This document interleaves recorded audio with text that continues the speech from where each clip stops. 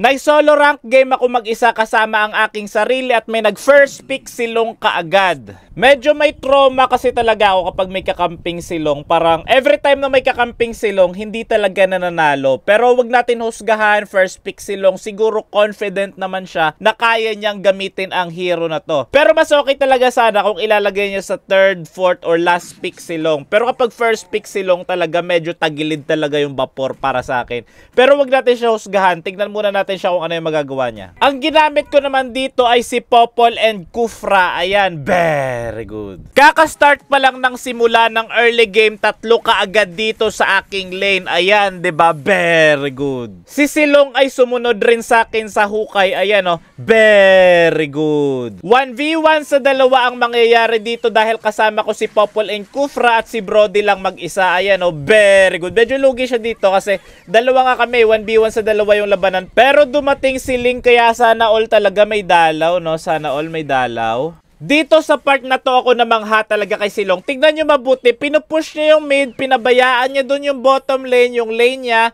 Walang nagbabantay doon, nagpupush yung Ruby. Nabasag na ni Silong yung uh, middle lane pero hindi pa rin siya bumalik doon sa bottom lane. Dapat bumalik siya doon, wag niya iwan yung lane niya, 'di ba? Nakakabilib, 'di ba? Karamihan sa mga Silong users hindi sumasama sa Clash pero kakaiba tong Silong namin. Sumasama talaga siya sa Clash. Ayun oh, Tingnan nyo na ba, uh, tingnan nyo na ba yung ginagawa niya? Doon inabol niya si Brody. Tapos syempre, bagsak nga lang siya, di ba? Very good. Ako naman, trabaho lang talaga. Push lang tayo kasi mahalaga talaga yung push at magkakaroon nga kami ng Lord. Meron Lord dito sa bottom lane. Ayan, basag-basag lang tayo na Torre kasi yun naman talaga ang primary objective sa atin, magbasag ng Torre. Tingnan nyo mabuti yung silong. Inaabangan niya yung kalaban dun sa red buff. Ayan, ayan, hinabol siya ni Leo. Ginamit niya yung ulti niya, panakas. So, ayan, ayan. Kahit siling lumilipad, hindi niya mahabol yung napakabilis tumakbo na Silong kapag nag-ulti, di ba? Dito maganda yung plano namin ni Silong, oh, kasi si Ling kukunin niya yung uh, blue, asul na blue buff ni Lancelot. Ayan, oh, inabangan ni Silong, tapos ginat-ngat ko si Ling, di ba? Ang ganda ng uh, tambala namin doon ni Silong, di ba? Tignan nyo mabuti kung paano siya mag-abang. Ayan, oh, grabe mag-abang, oh, ang lalim niyan. Pipitasin niya si Brody, ayan o. Pero ang mangyayari dito, ano ba naman yan? Siya yung mapipitas. Mamahira. Kinuyog siya dun eh. Di ba? Sayang naman yun, sayang. Silong, sayang. Tingnan ulit natin siya. Sumisegue siya dun sa top lane at pupuntahan siya ni Ling. Nag 1v1 sila dun ni Ling.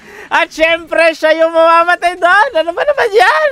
Silong Ling na lang yan eh. Dito naman, nakuha ng kalaban yung Lord. Kaya kinakailangan namin dumipe depensa kasi nga may Lord yung kalaban. Pero tignan nyo ang magaling nating kakampi. Tignan nyo kung saan pupunta. Tignan nyo mabuti, nandun siya sa top lane, ang lalim doon. At uh, may Lord yung kalaban ha, may Lord. Sinalubong siya ni Tigreal doon. At uh, tumatakbo siya, which is good naman. Kaso tignan mo naman, ang dami, apat yung sumalubong sa kanya doon, oh. Ayan, pambira. Ano ba naman yan si Long? Ano ba naman yan?